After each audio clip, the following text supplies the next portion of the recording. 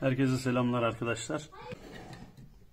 Genelde sedan araçlarda arka bagaj ışıkları şöyle tek ışık oluyor ve yeterli olmuyor. Bununla ilgili de çok basit ama etkili bir led aydınlatma montajı göster.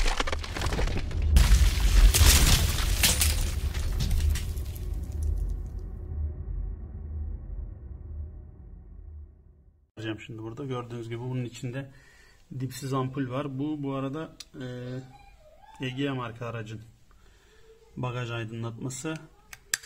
Çok basit bir sistem. Gördüğünüz gibi. Buna şimdi kolayca orijinalini bozmadan herhangi bir e, sıkıntı yaratmayacak şekilde led bağlıyorum. Zaten 12 volt led şöyle 6 tane led bulursanız yeterli olur. E, hemen bu Ege aracında bu tarafa ben lehim yaptım.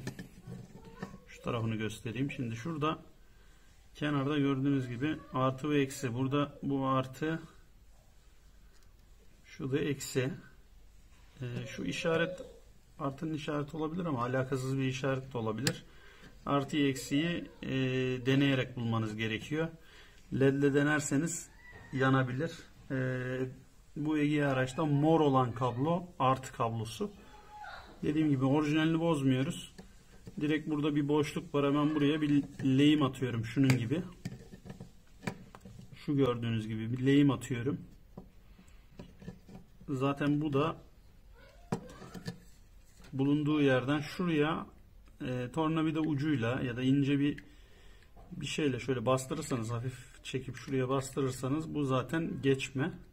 Buna bastırınca bu tarafından yani tırnaklı tarafından şöyle bakınca da şu tarafta ince bir şeyi olan taraftan bastırıp çekiyorsunuz aşağıya. Sonra kabloyu da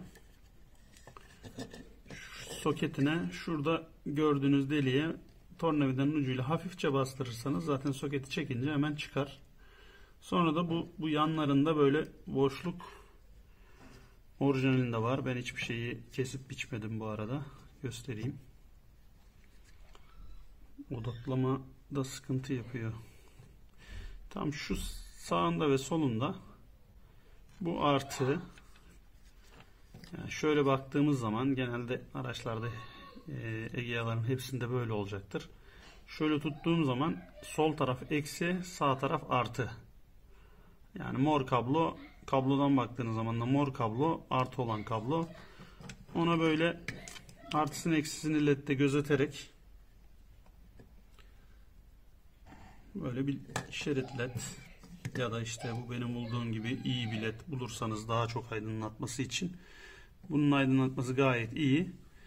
Şimdi bunu bunun orijinalini de bozmuyorum. Bunu da kullanıyorum ampulü içinde.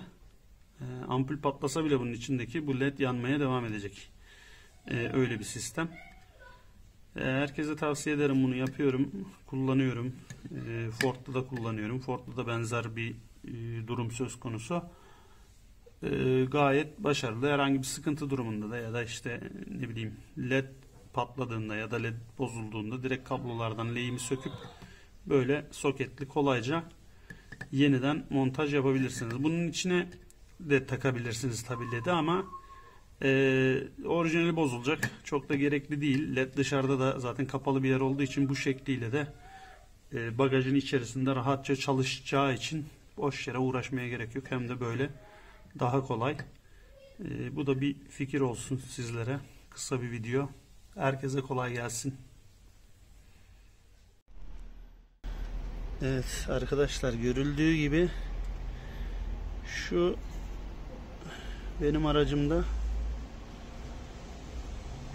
şu mosmor olan kablo şu da beyazlı morlu kablo. O eksi olan beyazlı morlu olan. Gördüğünüz gibi kırmızıyı da mor kabloya sokette bahsettiğim şekliyle.